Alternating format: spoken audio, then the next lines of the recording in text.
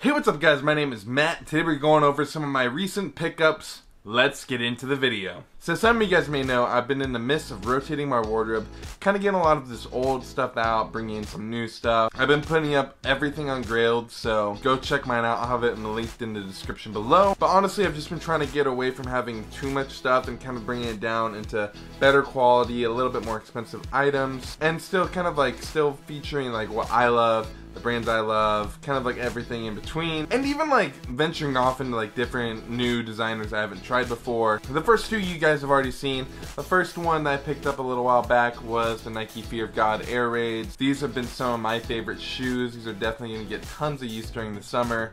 I love them to death. They are pretty comfortable for a Nike shoe. And honestly, like there's only two shoes on this list and they're both Nikes. And if you can tell kind of from my spot right here, I've not really bought into Nike, but my two shoes from Nike so far have been two designer collaborations. And this one for me is probably my shoe of the year so far. Now personally for me, I think that these are a lot more wearable than the Air ones. The shape of them is really nice, I just don't think they're wearable with everyday attire.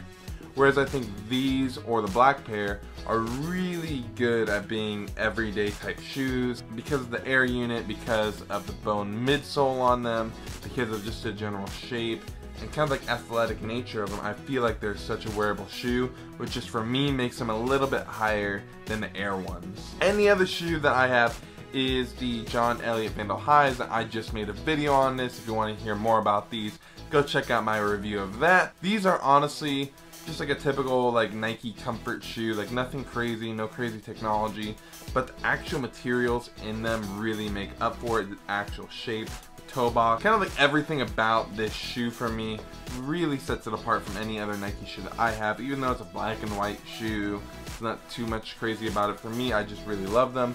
And these are only two shoes I picked up the past month. Haven't really been feeling a lot of the new shoes coming out from anybody. So for me, saves me money.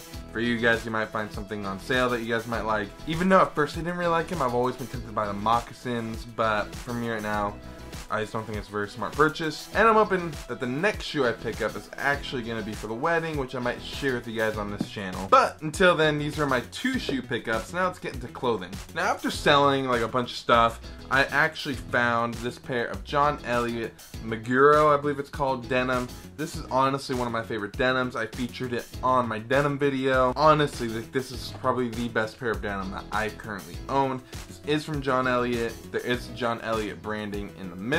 Honestly, like this pair has just worn in so well so far only had this for like a month, but the wash on this is already turning out really well. You can't really tell too much on videos, but when I first got it, it was a little bit darker gray, now it's turning a little bit lighter.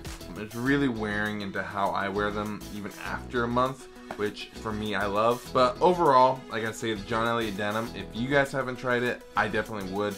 It's probably the best for the price, and I say that meaning out of all the expensive denim that this is probably the most worth it. With all the sales happening right now, I'd definitely go try to find a pair. If you can find it for below 150, that's a definite cop. Now this pair retails for $400, so definitely pricey, but you can definitely find them for a lot cheaper.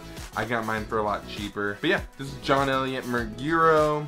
I've had these featured in some videos already. I just haven't really made a video about it because I didn't really feel like I needed to. The way that it fits is a little bit different than other John Elliott denim because the bottom, it has a little bit more of like a distressed nature to it. I personally love the distressed nature at the bottom but some other people might not. But like, that's all personal preference. It's up to you at the end of the day. The next pickups are actually from Daniel Patrick, which you can't really see right here. There, there we go.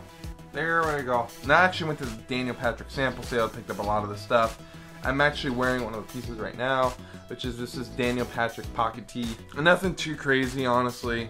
For me, the sample sale had a lot of good stuff if you pay full price for Daniel Patrick, which you really shouldn't. It's a really good place to find a lot of different stuff. He had a lot of his shoes there for like a $100, which for Daniel Patrick shoes is a steal. I feel like a lot of his stuff right now, he's just trying to go through it all. So he's pretty much just selling it for a little bit above probably what he gets it for. Like this sweatshirt I bought for 75 bucks and it retails for like 225 bucks. I've almost paid like 180 for this thing. So for me, I love it. It does fit a little bit short in the body, which which I'm not too mad about just because it falls like a little bit below the waist. And I don't, I don't really like stuff when it falls exactly at the waist. A little bit below is really where the minimum of where I prefer it. And honestly, like this is exactly for mainline. There's not any difference between this. I don't even think it was a sample. It's probably just overstock inventory that they had. They're trying to just get rid of, but I really like it. It's end of season. It's just about at summer. It keeps going between hot and cold here in Southern California. I'm honestly just waiting for the heat because of my job. But personally, I love wearing long sleeves and all of that. So I guess selfishly, I want it to stay cold so I can keep wearing like this. But the second thing I picked up was this Daniel Patrick t-shirt. Now you've probably seen me with a hoodie with the same exact font. But honestly, I love this design. Like this is gonna be perfect for me for summer. I don't tend to just wear white all the time or color. I like to just wear black. It's what I love. This black and red, it really is nice. Like most Daniel Patrick stuff, it has that like line down the middle. Overall, like I picked this shirt up for 40 bucks, which some people might be a lot for a t-shirt, but it is made in Los Angeles. It is made with really good cotton. It does have like this the raw edge bottom on it, which I find different. But overall, I really love it. I haven't tried it on yet, but honestly, I haven't really gone wrong with any Daniel Patrick stuff in the past. And I think most of his stuff really does fit oversized. But I, if you can, I would try stuff on yourself. I know he's in Saks now. Or you can buy it online. It's not that bad priced online. But yeah, this is a quick Tuesday video. Just about my recent pickups. Let me know what your thoughts are in the comments below, and let me know if you guys copped anything yourself. And like I end every single video here, please like, comment, and subscribe, and I'll see you in the next video.